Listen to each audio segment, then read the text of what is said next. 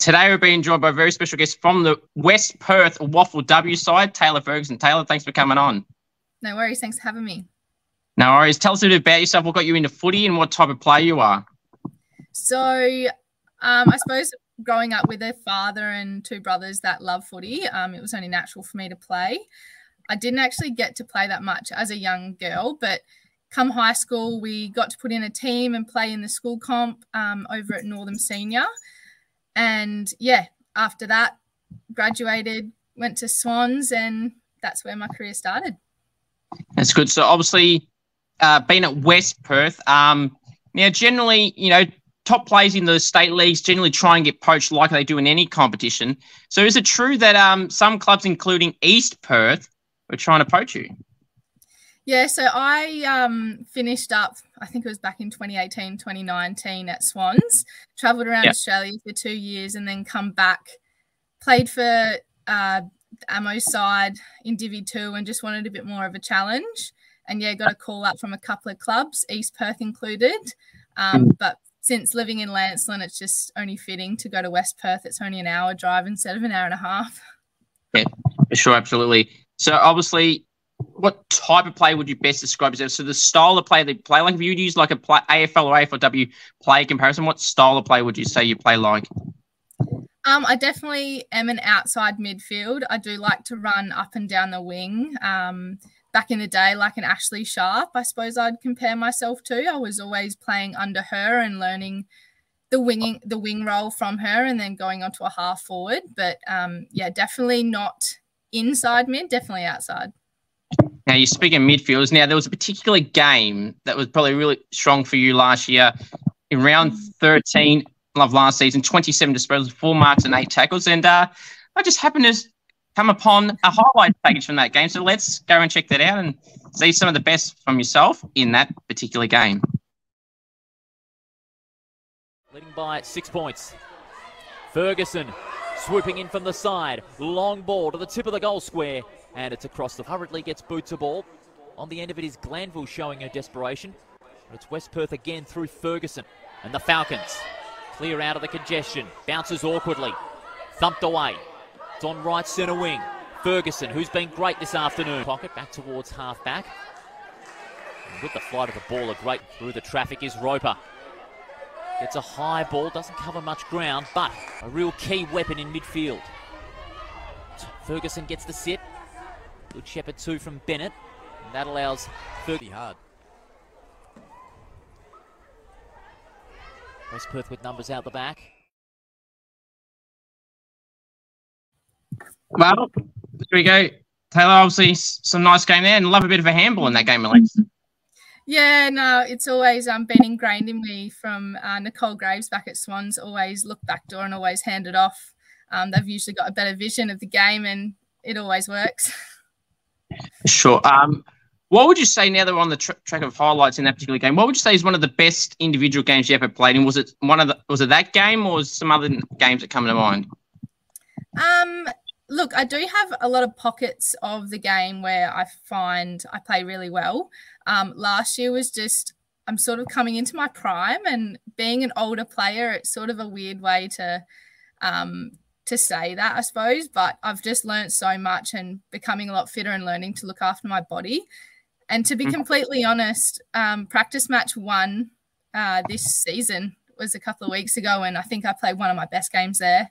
Um, yeah. Obviously, I got nominated in that East East Perth game um, as you know the player of the of the round, but yeah, yeah uh, there's not really any other big game that I can sort of um, pick on other than the practice match that probably wasn't recorded. That's fair enough. Um, so obviously, an interesting story that you actually were a part of the West Coast and Fremantle academies. What was that like? Oh, incredible! An absolute amazing opportunity um, to train and to you know be amongst such elite players um, and an elite environment. Um, I'm forever grateful to be a part of um, the gym, the facilities you know the camaraderie with the girls getting to have dinner afterwards with them all and mingle it's it's just a complete different world to what um, i've ever experienced so yeah really really enjoyed it that's good so generally when you well at least from and I hear it, if you're in academy of one of those state uh, clubs, Freo or West Coast, you generally stay in that. So how did the opportunity to switch? Because I don't generally hear about that too often, if at all. No, well, I suppose my story is a little bit um, unique. I guess I I'm not a massive player in terms of you know I'm, I'm not strong. Well, I am strong, but I don't look it. Um, I'm quick, but I'm not the quickest. I'm sort of that fringe player of the AFL, I suppose. And yeah. um, teams are just looking for a certain type of athlete. Um, and there's a lot of commitment involved in that. So I suppose it was a two way street in terms of look, you're not quite there yet, but I'm not fully committed to make it to the AFL either because my life is quite hectic anyway with work life balance. And I don't think um, it would have matched my lifestyle, to be completely honest. That's fair enough. But as you mentioned before about having the dinners and that with them, how how was that time in terms of making some bond and friendship with some of the players that may still be there today? Oh, it's awesome. It was absolutely incredible. Um, a few girls I actually grew up with, like Emma O'Driscoll and um, Emily Bonser. Uh, she was in the in the sides as well.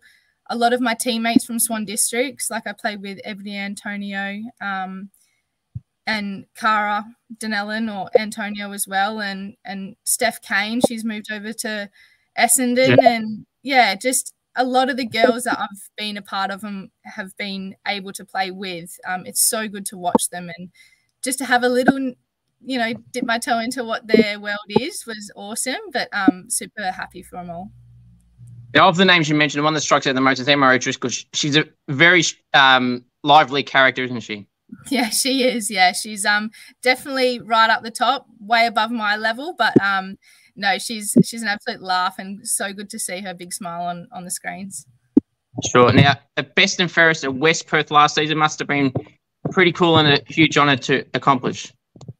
Oh, it's it's the biggest honour I think I've ever got from my footy career. Um, it was a massive surprise. I came out the gates in round one, two, three, and four, not getting many points at all. And then, um, yeah, I just obviously brought it home. But a hmm. good end to my season. Um, you know, it's not winding down, but it's it's I suppose just getting started after that award.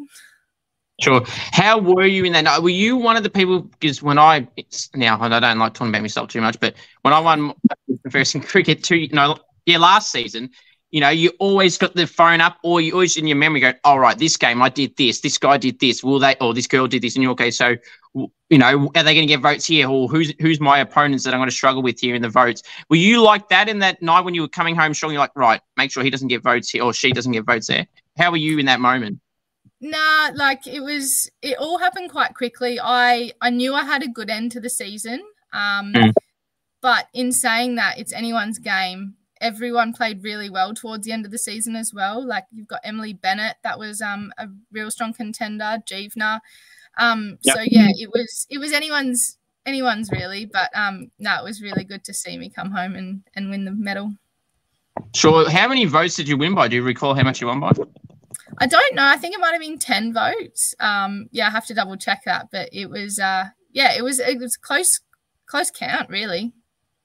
So, do you know how they generally do their votes? Like a every individual player gets like an out of ten ranking. How how does yours work? I'm not 100 percent sure on that one. Actually, I have to ask um, Luke Richo, but I think there's a certain amount of um, people that get votes, and I think it's a three, two, one, and they just get counted up. I think he can get a total of like 12, so it might be four different um, vote cards get handed out each week. I'm not 100 percent sure. Yeah, you know the reason I asked is basically to say you one game in. So that's how I'm just trying to get how tight it was in the in the end. So that Oh for sure, yeah. I'm pretty sure that's how tight it was, yeah. Very, very. So what would you say some of your strengths as a footballer? You mentioned about playing saying and an outside mid as well. Um, what would you say some of your key strengths as a footballer?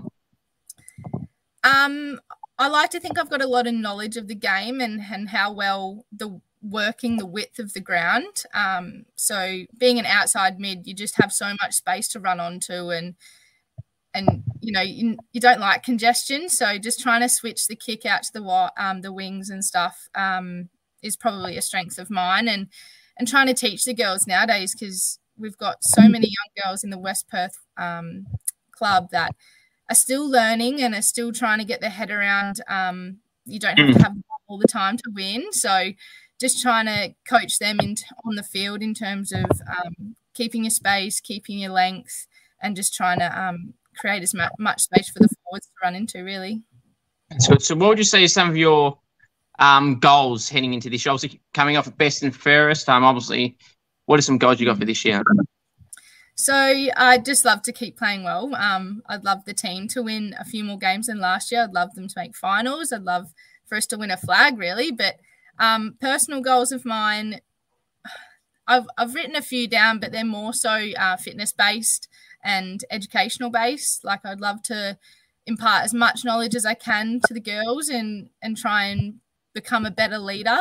Um, I've been voted into the leadership group, so I, again, so I'd just like to in, improve my leadership skills um, and just learn as much as I can whilst I'm in this um, amazing, amazing environment. Sure. Now I was going to get into this. So obviously you've been in the leadership groups. Obviously, um, ha- is that always something you're always striving to be in, or was it something that just kind of you got voted into or asked to get into, or was it something you from when you started playing footy was something that you had an interest in being a part of? So back in at Swans, um, I was there for a few years, and then I got voted into the leadership group, um, which is a big surprise. Really, I just did what I thought was the best thing, and and the girls responded with that and then coming back into West Perth or back to West Perth, back in a WAFL side, I just led mm. with what I thought I needed to do. Um, there was a lot of young girls not struggling, but you know they got beaten and didn't win a game the previous year that I came in. So trying to get their morale up, and mm-hmm. I think that just translated into a leader, and and yeah, got voted in, and and got to captain a few of the games at the back end of the season, and I think I thrived in it, to be completely honest. Um, I loved it. I love leading the girls. I love teaching. So I think that just comes natural to me. That's good. So, obviously, as you said, you've been in for a while, so at the Swans as well. Um, so, obviously, back at the start of the Swans, you won the rising star and the most consistent player at that stage in the early part of your WAFL W career. It must have been a pretty cool honor to show that you can you do belong at this level and potentially higher if you're getting those type of awards in an early phase of your career? Yeah, look, um, probably my my favorite one is the most consistent. Um, you don't have to be the best every week, but as long as you're playing your role, whether it's just holding width, getting a couple of marks and a few kicks and a few tackles, not necessarily kicking goals or saving goals. Um, yeah, I was super proud of that one and forever grateful for it. Um, Rising Star just gave me a bit of a bit of fire in my belly that you know, I, I am good at footy. I, I tried netball, I've tried everything else, and I've always come off second. So knowing that I was good at footy and, and loving the, the team environment was um, absolutely amazing. That's good. Who did you grow up barracking for? I'm always the West Coast girl. West Coast. So, uh, just some players of the Eagles that you enjoy watching that currently play now, and uh, be happy to have Daisy Pearce as coach. Oh, to be in that waffle at the AFLW side of the Eagles would be absolutely incredible. Being able to be coached by Daisy Pearce and stuff, that's uh, just mm. yeah, amazing. But growing up, you know, you got um Selwoods, they were always going in hard. Um there's just too many to really describe. I just I just loved watching the guys run down the wing, have a few few bounces, kicking to the forwards and just being that link up player, yeah, was definitely what I tried to focus on. Now, what is the furthest length of a season that you've gone to? Because obviously you were telling me off screen that you haven't won a premiership before, but have you reached the grand final before, or what's the furthest stage you've reached? So in my first year at Swans, we got to the grand final. Um, I did get to play, but unfortunately we didn't win. And then I think it was 2017, Swans went three for three. So the Rogers, the reserves, and the league all won. Um, but I did have a typical uh, Europe trip planned. So I went over to Europe and watched it online. And I only missed, I think, two two games towards the end, which is a bit of a yeah, my bad. But um, Graves, you know, she was very, very thankful for the season that I'd played. And I got to share that when I got back, and yeah, was really proud of the girls. But other than that, I haven't actually got to a uh, a winning premiership. No. Right. So obviously, you mentioned some goals for yourself, and you said some goals more off field ones. But um, how do you how are you feeling heading into this year as a whole? Have you got everything sorted and you obviously played some practice matches already? So how are you feeling overall? I'm feeling absolutely great. Yeah, I'm I'm super pumped for this season. I think we're gonna, as a team, do really really well. Stay competitive. Um, just got to keep doing the processes, focusing on us as a group and our individual roles. Um, personally, I feel the fittest I've ever felt. Um, I'm kicking better. I'm running better. You know, I've got the tackle down pat. So yeah, nah, I'm feeling really really good and excited. That's good. So tackling is it's a question I like bringing up to some people that are good at tackling. When you tackle, do you make it hurt the opposition? Are you one of those strong tackles that makes it hurt? I don't want to make it hurt, but um, I do like to get them to ground, uh, pitting the arms and just making sure they travel down safely. Um, yeah. Always try and help them up after, but yeah, nah, you don't go out to kill each other. That's fair. Good sportsmanship. Now, outside of footy, what are some other sports you either currently do or have played in the past? Well, currently I don't have any other time for anything else, so just footy at the moment. Um, I do like to get to the beach because I do live on the coast, about an hour north of um, in Lancelin. Back in the day, like mum, dad, and the whole family used to travel to tennis, basketball in the summer, um, netball. I was you know, trying to get into the state league there, just a little bit too short. Um, but yeah, just tried to get myself into as much team sports, as many team sports as I could. Um, but yeah, and still actively involved in like the 2J football club um, on there, helping mum and dad out because they're massive um, supporters of that. And the brother plays and train with them as much as I can. But yeah, other than that, it's just uh, West Perth at the moment.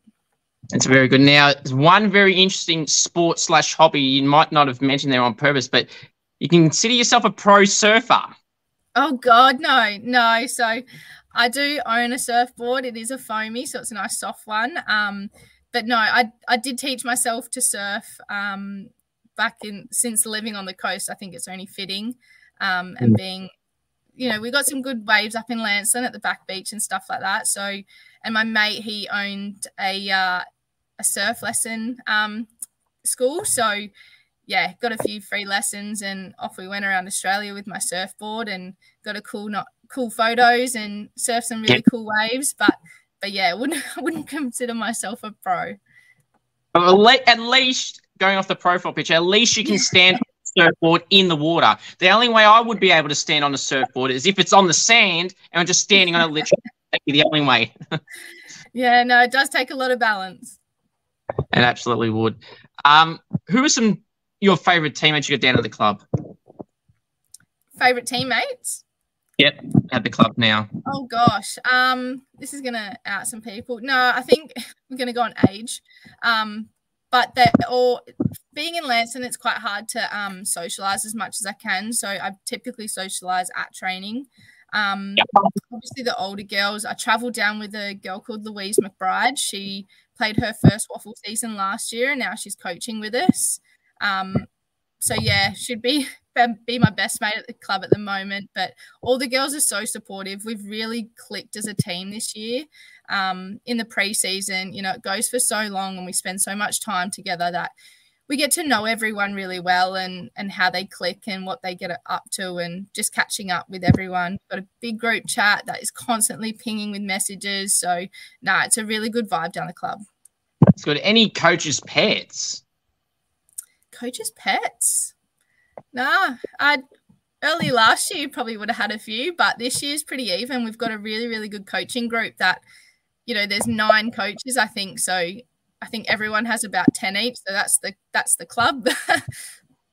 that's that's fair. Uh, any nicknames you get that you like or dislike? Um, I get a heap of names. Um, obvious one is Fergie, Fergs, Fergalicious. Um, nah, I love all of them. I don't care what I get. Um, if it could be completely irrelevant. Tay, Tay Tay's a relevant one with Taylor Swift, Swifty. Um, yes. yeah, I will respond to anything. Sure, that's, that's actually mentioned. Did your name Taylor? I thought Tay Tay or something like that might have been uh, one as well. Um, but I guess I suppose if you don't like it, I guess you just got to shake it off. I guess. yeah, you can't bite each other's head off. They're just trying to um, make you laugh or, you know, trying to get your attention. So you just try and get them one back in, a, in another um, situation. Very true. Uh, favorite TV shows or movies you got? Favorite TV show? Um, only watched it fully a couple of years ago, Friends. Um, yep. But Suits would have to be my favorite. Nice. Um, that, that's, that's it's been a common answer Friends has recently too. Now, what is the best goal you feel you've ever kicked at any level at any time? It could even be a training, it could be local, mucking around with someone having a kick. What do you feel is the best goal you've ever well, I'm I'm terrible at a snap kick, so it's definitely not going to be one of them because I've never kicked one. It'd probably be um, running down the fat side into the forward 50. Um, your teammate looks at you and just sees you screaming your head off that you want the ball and you eventually kick it straight and get it in there. It does take a few few practices though. I have missed quite a few in um in my time. I remember I recall the time I played at Mineral or now Mineral Resources against Perth when it was the WAWFL.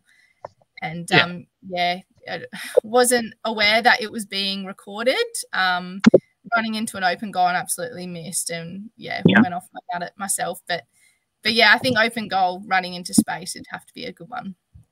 So to wrap it in, you didn't know it was recorded. Then in the moment, you're like, great, that's embarrassing. And then then to top it off once you or once you found it, oh great, it's on camera too. Oh boy, that's great. Yeah, yeah, and, and it's amazing how much that uh that oval echoes. that's her. They're just, just rubbing it in, rubbing it in at this point. Um, yeah. Mark or goal of the year, which one would you rather do and why? I'd rather mark. I think it takes a lot more craft. That's fair enough. Um, so goal celebration. Obviously, you said you don't get many goals, especially from the tight angle. If you were a goal celebrator, what celebration would you pull out? Definitely be a double uh, double fist. Very, very strong. Um, yeah, it just gets gets the excitement out of you really quick. For sure, that's a good one. Now, it can be as unrealistic as you want here. Hypothetically, if you could best describe the best goal you'd want to get, what would it be? It would it be a check side? Because you mentioned about snaps, the torp, after the siren, in the wet. How would you best describe it? It'd be unrealistic. Um, unrealistic. Well, I think it's pretty, pretty cool that um, people can kick them from the boundary um, offside. So, yeah, I'd definitely a check, check um, from the boundary. Check side, that'd be good one who loves the limelight, the attention, the camera at the West Perth Footy Club, and they can't get enough, and they know exactly what to do when there's a camera around. I think I'd have to throw um, Kayla and Jess under the bus here. They they love the camera. I think it's just that uh, the young girls they love it. Um, they're constantly on TikTok and doing the dances and stuff. But um, I haven't seen them doing recently, but they do love the camera. It's good. Um, what is your thoughts on these TikTok things these days? I can never get onto it. Um, I'm a fan. What do you think of that stuff? Oh, I don't even have a TikTok account. Um, it's great to see people with confidence. Um, but yeah, you won't see me on there. likewise, yeah. Um, what's something someone does at the club that you cannot stand, whether that's leaving rubbish around, just being flat out annoying, trying to scare people, anything that jumps to mind? Um, no, nothing that jumps to mind actually. Um, yeah, no, can't help That's you there. So, jump scaring. Have you ever fall, fallen victim to anything like that, or have you seen people do that? No, I haven't fallen victim, but um, Courtney Ugle, I follow her on Instagram, and yeah, she gets her her mates um pretty good, and it's quite funny to watch. Yeah, exactly. Yeah, watch, but you wouldn't want to be the yeah, one getting no. scared. Not at all. I've seen a lot of the Sydney AFLW girls do it constantly last year, and I can't remember the exact. I think it was Cynthia Hamilton. She legitimately got shit scared. Where she, I don't know what she had in her hand, food or a phone or something. She literally threw it up because she got scared too. There's there, yeah. there victims there. Uh, like I said, I wouldn't want to be a part of that for sure. Um, now, who do you feel is the best player in the AFLW competition? Obviously, there's so many players to pick from. It's probably really even Mon Conti, Jazz Garner, Ash Riddell, uh, Ebony Marinoff, Laura Garner, Ali Morford. Who would you have in that conversation? Um, I probably have Marinoff. Um, she's a hard hitter. She constantly goes. Um, I don't think she has a gear smaller. Um, she's just constantly on, constantly running. Um, she's a hard hitter, and she's actually a really, really smart footy player. Really good to watch. Definitely agree there. Um, toughest opponent you feel you've ever had to match up on? If it's not an individual, do you recall the type of, or the team it was and how that game made it the toughest opponent for you or that player? toughest opponent. Um, you know, going into the academy and playing against the girls that are already at the AFL level um, has always been tough. You know, you come up against Turbo and a few of those girls. You, you think to yourself, you're not meant to be out on the wing. um, and yeah, just trying to tackle them and bring them to ground has been really, really hard. And even chasing, it's, you know, it's 10 times harder to chase someone down. But when you do, it's really good. But um, even some of the WAFL W girls, like you know, got Jamie Harkin and and a few of those girls in the inside mid, and when you get thrown in to to go help out the inside mid, you go, holy, hmm. do I go? What do I do? I don't want to break my arm. So yeah, no, nah, there's been a heap of girls, and um, it's only going to make me better. Very true. Um, who's some teammates you've been impressed by? They kind of fly under the radar a little bit. They don't really get talked about as much as you feel that they should. Yeah, look, there's a there's quite a few because um, you know, there's a few rising stars and a heap of girls that are wanting to get into the AFLW. Um, so we've got like Erin O'Brien. She's absolutely great for a mark. Um, she's been pushed to the the forward line this year, and she's going to really, really flourish. I think. Um, you've got Matilda Bain. She's a real strong down back. She's now in our um, leadership group as well. So can't wait for her to get out there and show the comp what they've got as well. Very good. Some nice names to keep an eye on for sure. What are some fun facts about you that people may not know about you?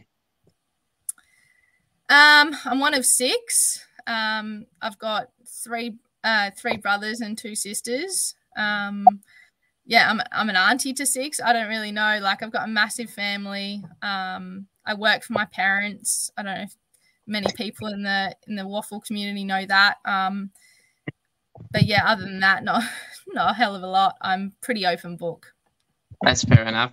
Have you ever had any AFL or AFLW player interactions as a fan? And if so, were there any memorable moments, or were they me- mem- uh, moments you want to forget?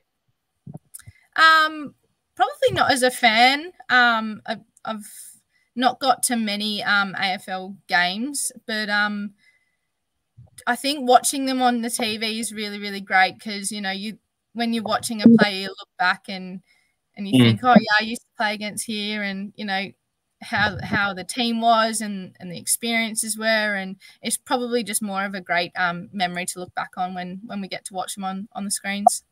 That's very true. Now, defenders, I feel like they deserve a bit more love and attention than what they get currently get in the AFL AFLW side of things. Because you know, obviously the midfielders, the the Brownlows centre towards mids and rucks even, you know, get recognised in that category nowadays. And forwards are at the Coleman. Um, defenders, do they need their own official title, whatever you want to call it, but do they need some form of award, which the other positions do? Oh, for sure. Yeah. No, they're they're definitely missing out and getting the um yeah, they're getting missed. They need to they need their own uh own award for sure. Mm. And what I found very surprising, I mean, not many people have said no to this question, but for the few that have said no, a couple of those people are actually defenders themselves. Yeah, right. That's interesting.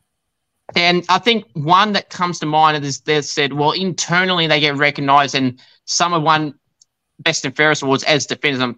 I think I agree with that, but like I'm more to you know outside in the public eyes. You mm-hmm. don't, from an official awards point of view, they don't really recognise them. What do you think of the name? This is stealing it from late Danny Frawley from Bounce, the Golden Fist. That'd be actually he may use it as a but that that'd yeah. be a cool name. Yeah, it would be, and I think it's only fitting. There's a bit of history there and stuff. So no, I I agree. I'm all for it. Love that. Um, if you were stuck on a deserted island with teammates, who would you want to bring and not want to bring? Oh gosh, um, probably Gemma Bailey. I'd bring her. She's a new newbie to the group, and she's always um making everyone laugh and I, she's a teacher, so she she'd know how to perform in stressful situations. I think. Um, who would I not want to bring? I don't know. I honestly don't know who I wouldn't want to bring. Maybe Louise McBride. because She'll talk too much. uh, fair enough. Um, I mean, in, honestly, some people like to avoid saying it. It's not. I don't know if it's just because they don't generally have anyone or they don't want to upset anyone. But honestly, if if they get really upset over it, well, then are they really your friend? If it's only a bit of a fun. That's it. That's it. And I think uh, I think she'll be laughing when she sees this anyway. Well, I might even clip that part too for the Instagram bit. Now, best chatterbox of the club. Who would you say is the best chatterbox? Chatterbox. Um, Jess Roper. She loves a bit of a chat. Um, it's always um, positive and it's always relative to the to the um, trainings and stuff. But yeah, she does love the chat. That's good. Now, some of your most prized possessions. What would they be? Prized possession. I don't really know. Probably my little my little dog Ralph. Sorry, who was that? Ralph. Ralphie, um, our little puppy. He's two oh. years old. He'd probably be my most prized possession at the moment.